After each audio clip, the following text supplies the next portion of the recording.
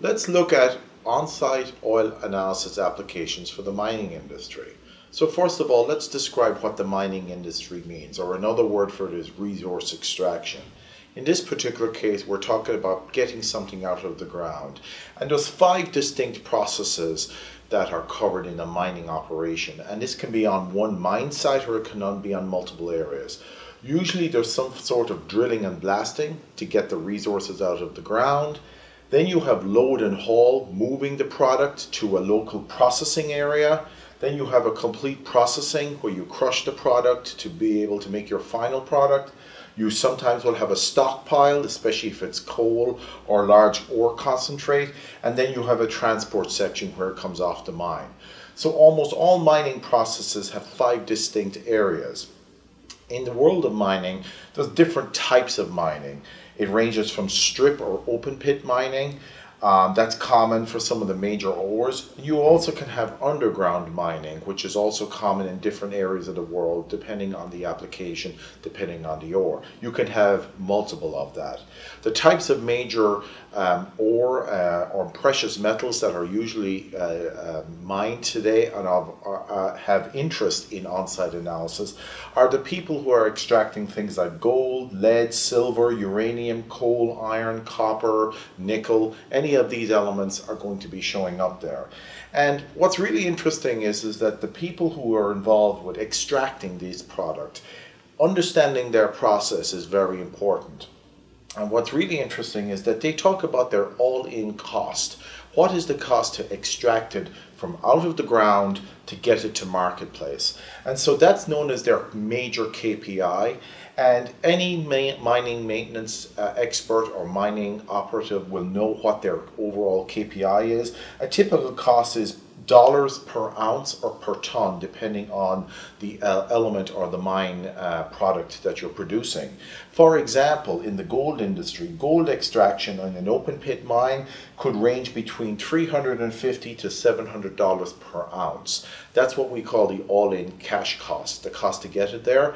Compare that to what the typical gold price is on the stock exchange, and you can see what their margin is.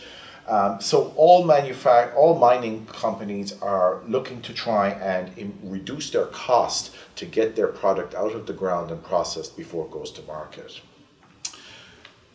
Why consider on-site oil analysis? Well, as we said, maintenance costs are the largest percentage of those operation costs that we just described.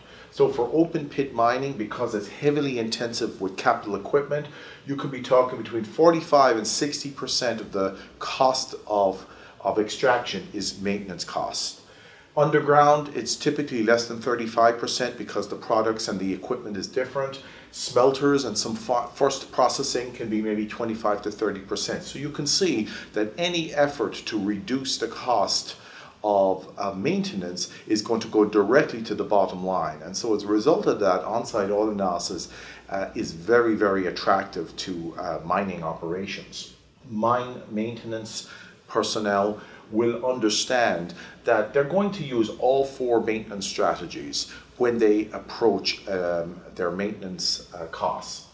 And it's not a question of just dropping run to failure uh, or focusing completely on proactive maintenance. In many cases, what they're trying to do is strike an optimal balance between the time it takes and the cost of disruption to reduce breakdown and reduce the cost of maintenance and to maintain uptime.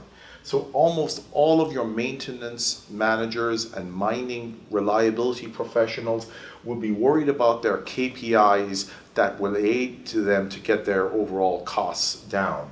So things like asset utilization, mean time between failures, the cost per horsepower per hour, these are all critical KPIs that they use to, to, to assess how they're, they're doing in terms of maintenance.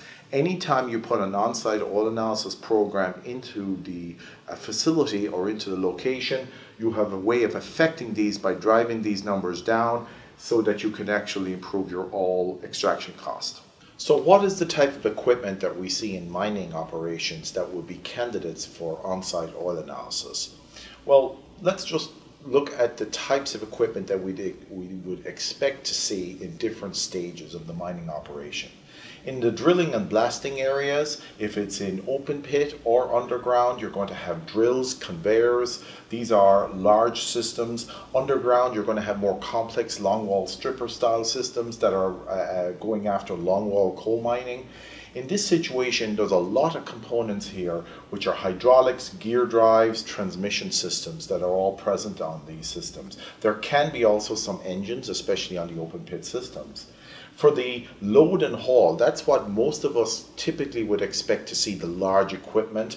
Um, so you'll see things like uh, haul trucks, excavators, you can have electric shovels, enormous equipment. Some of the biggest equipment that's ever been made on the planet has been employed in mining operations. For underground applications, expect to see a lot more what we call LHD or load haul dump type of machines, which are low, low, low ceiling systems, also known as scoop trams. They can be diesel engines, but they can also be electrical as well hydraulics, transmission systems, diesel engines, right propel, left propel, uh, gear sets, slewing bearings, and air compressors are all components that are on these devices that would be candidates for fluid analysis.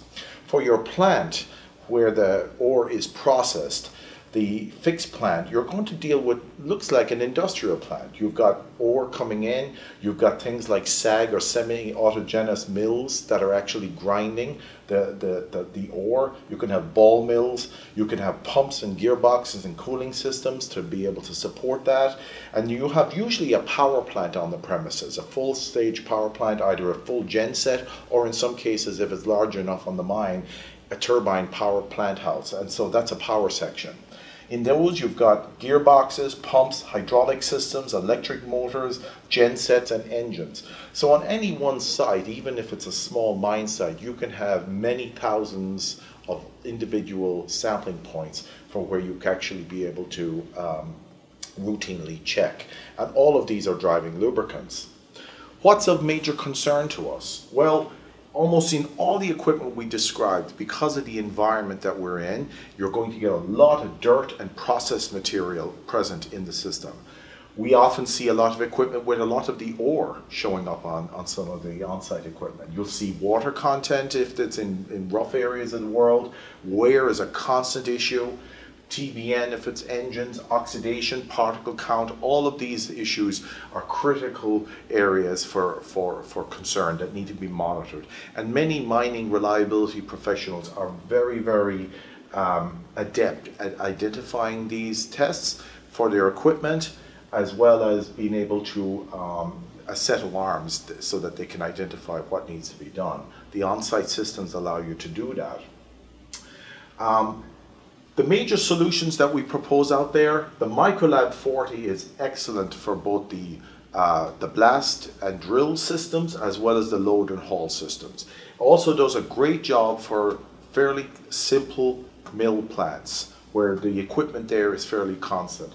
There are some sites that you might have exotic materials or exotic lubricants present like PAGs or certain areas of the world. In those cases talk to us because a MiniLab solution might be a better case than that one thing to note is that what's unique about mining environment is that the mining lubricants are oftentimes industrial lubricants, but they have extra fortification. There may be a more advanced additive package, or there may be more aggressive uh, uh, dirt removal packages present that are designed for the harsh environments. Many of the OEMs for the equipment that's provided actually provide a unique blend of oil that's just suitable to meet the requirements for that application, although other alternatives are present.